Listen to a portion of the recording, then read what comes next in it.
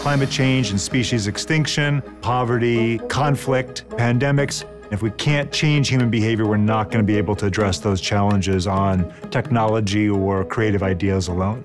And one of the most fundamental challenges is the potential for trade offs. So, take Indonesia, for example, one of the great tropical rainforests of the world, but it's largely agricultural society.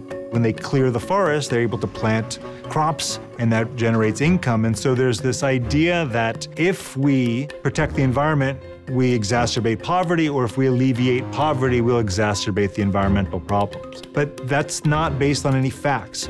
And so the only way to answer that is to embed experiments by looking at the data and statistical methods. And the Bloomberg Distinguished Professorship Program encourages faculty to take risks, to do work that defies categorization, to address the great intellectual and social challenges of our day.